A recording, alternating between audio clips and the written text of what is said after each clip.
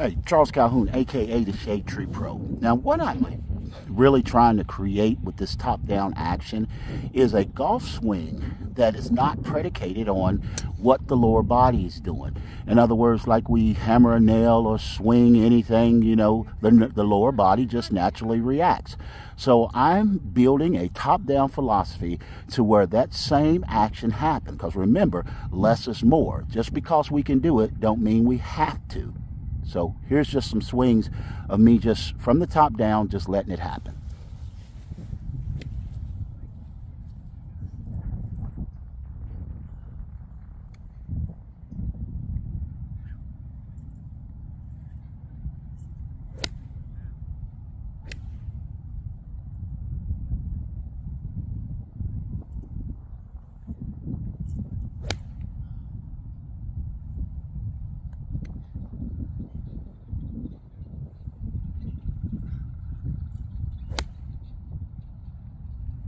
Know, whatever the lower body does, it does.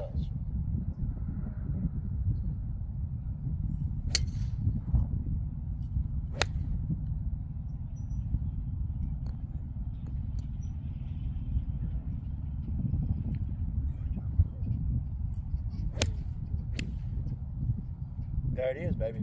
Always good golf.